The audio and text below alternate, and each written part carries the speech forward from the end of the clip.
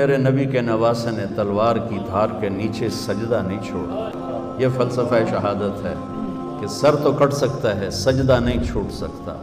अब छोटी छोटी फ़ाइलों के पीछे नमाजें छोड़ेंगे। कल जब आप अपनी फ़ाइल ख़ुद उठाएँगे अल्लाह के दरबार में, और वो फ़ाइल आपके हाथ में नहीं होगी। अल्लाह ताला कहता है, चाहे वो मौलाना हो, अल्लामा हो, या वो वकील हो, या वो जज हो, गर्दन में लटका दूँगा फ़ाइल। और फिर एक एक वर्क उल्टा के कहूँगा, पढ़